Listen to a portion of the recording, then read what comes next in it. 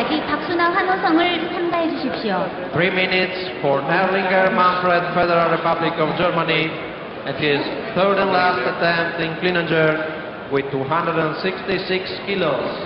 독일 연방공업 대표 네링거 266kg으로 3차 시기 도전합니다. This will be also the last clean and jerk of this competition and the last clean and jerk of these Olympic Games.